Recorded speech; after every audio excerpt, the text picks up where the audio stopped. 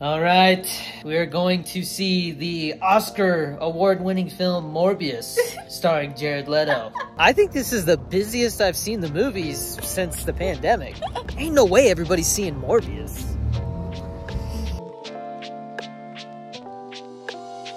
All right, we just saw Morbius, and it's a mess. It was better than I thought, though. I, I, thought it was a dumpster fire. The more I think about it, the more I don't like it. I got a lot to say, but I, I need to process what I just saw. Woo! Now, I did go in with low expectations. I saw all the rumors and all the chitter chatter on the internet talking about how much of a mess this movie was. For the first 30 to 40 minutes, I was sitting there thinking to myself, it's not that bad. I, I even turned to my wife, I was like, it's not as bad as I thought it would be, you know? Halfway through, man, it just, it completely goes off the rails any little bit of characterization that they did for the first 40 minutes is completely thrown out the window. And ultimately, it's like the second half of the movie was edited into something completely different. And speaking of editing, it's definitely the worst part about this movie. The fight scenes, I can't even tell what the hell's going on. It's just a couple of CGI blobs falling through a building and it's so close up, you can't even tell who you're looking at. Anytime there is a wide shot of two characters fighting, it goes in the slow-mo and then turns into a CGI blob mess. And some of the CGI did look cool, I'll, I'll, admit. Like, the concept for some of this stuff was cool looking. But I just, I feel like they had a different movie, and then it got delayed, they thought about changing it, decided not to do reshoots, and just attempted to edit it into a different movie, and by doing so, they completely killed the soul of the movie. It's sad, because there are little moments like this hospital scene that was legitimately kind of scary. Like, there are little moments here where there's a little bit of potential for some heart or for some tension. And they just completely kill any of it with the second half. Like there's a little twist in this movie and I was like, wow, that was actually kind of cool. Like I, I, I liked how they executed that. But when you see where the movie's going, you're like, oh, yeah, this is why people are saying it's so bad. There's several moments where people get slashed and you actually hear blood spraying and gurgling like,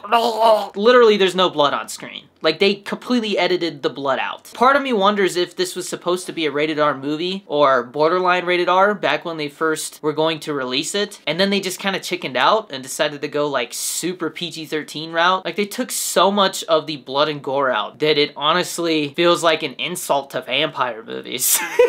I'm trying to think of some positives here. I mean, it, it, it is an hour and a half, and I feel like it originally was supposed to be two hours, so at least it's short. The actors are fine, honestly. Like, the actors are doing the best that they can with what they have. Jared Harris, that guy is a phenomenal actor, and he's just totally underutilized in this. I don't even know why Tyrese Gibson's in this movie. I swear he had like two lines, and he just kind of stood there. Honestly, my favorite character was Al Madrigal. I think that's his name. Like, the dude was actually trying to give a performance. Sadly, it's just one of those cases where the script just blows, man. Like, there's just nothing to really get excited about. This is what superhero movies used to be like before we got the MCU.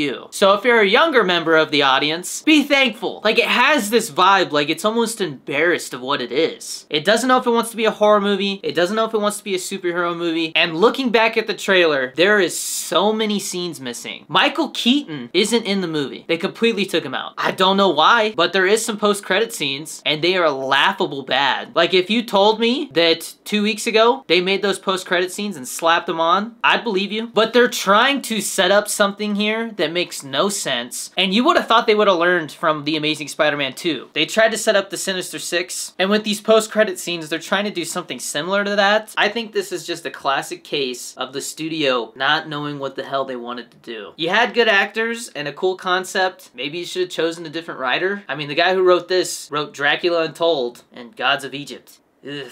Definitely a huge disappointment. This is probably going to go on my top 10 disappointing movies of 2022. And if you're watching this and you have not seen it yet, please just wait for it to come to streaming. The only way that we can hopefully get Sony to realize that they need to try harder and they need to put more effort into these movies is by voting with your dollar. Just wait till it's on a streaming service. I am going to give Morbius a 3 out of 10. And the only reason it's not lower than that is because those first 40 minutes are legitimately watchable and entertaining. But wake up, Sony! You can't keep doing this. Venom 1 and 2 are completely fine, entertaining enough, and I'm sure there's a third one right around the corner. And part of me hopes that if they're gonna make a Morbius 2, that they can salvage this character. And I would not be surprised if they edited this movie the way that they did because they are thinking about completely abandoning this character. Let me know what you guys think down in the comments. Have you seen Morbius? If so, did you think it was as bad as I did? And also, guys, if you like these videos, you want to see more of them, consider supporting my content by using G Fuel code DannyD. I'm drinking some sour chug rug right now. Delicious. And there is, in fact, a Morbius G Fuel flavor. It's called Plasma. It is a sweet nectarine flavor, and it's much better than the movie.